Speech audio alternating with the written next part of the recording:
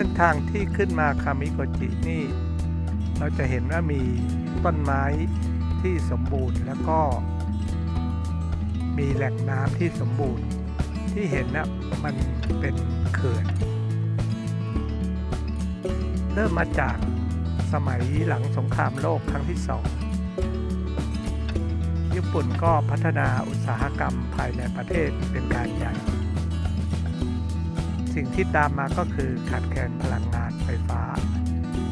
มีอยู่ช่วงหนึ่งถึงขนาดกับว่าโรงงานหนึ่ง ต้องหยุดผลิตเพื่อให้อีกโรงงานผลิตก็คือผลิตกันวันเว้นวันทำให้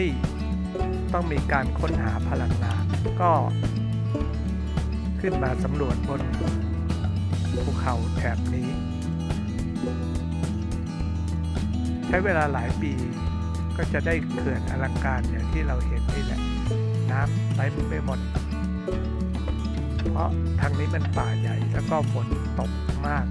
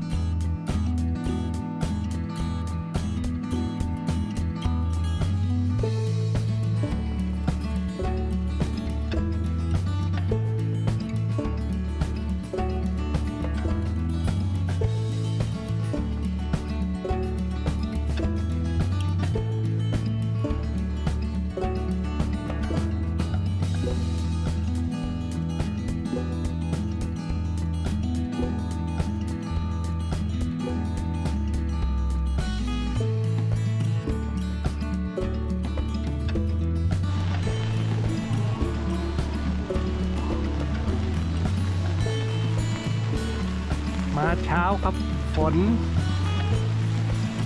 ตกอย่างเกือบหนัก